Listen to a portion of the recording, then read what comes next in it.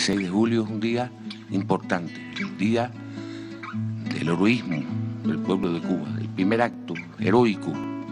público eh, de nosotros. Y, y eh, yo estoy en México, es como estar en Cuba. Entonces quiero aprovechar y agradecerle al presidente y a su gabinete la solidaridad, la valentía, la generosidad que han estado al lado de Cuba, defendiendo a Cuba, ayudando a Cuba, comprendiendo a Cuba, abriéndose a Cuba de una manera valiente, de una manera enérgica. Y yo, como pueblo, quiero decirle al presidente que Cuba, el pueblo de Cuba, y sí puedo hablar en nombre del pueblo de Cuba porque yo soy pueblo, lo respeta y lo ama.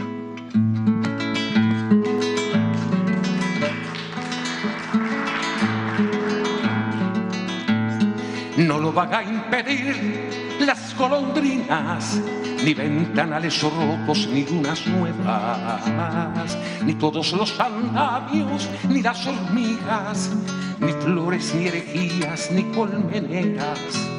no lo van a impedir los correbundos, ni los soldados, ni las primaveras, ni aun negándolo el viento de muro en muro, ni aun negándolo al fin donde se crea.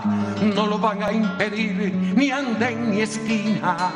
ni el temor de la Virgen si oscurece, ni el humo de las calles si llovizna, ni el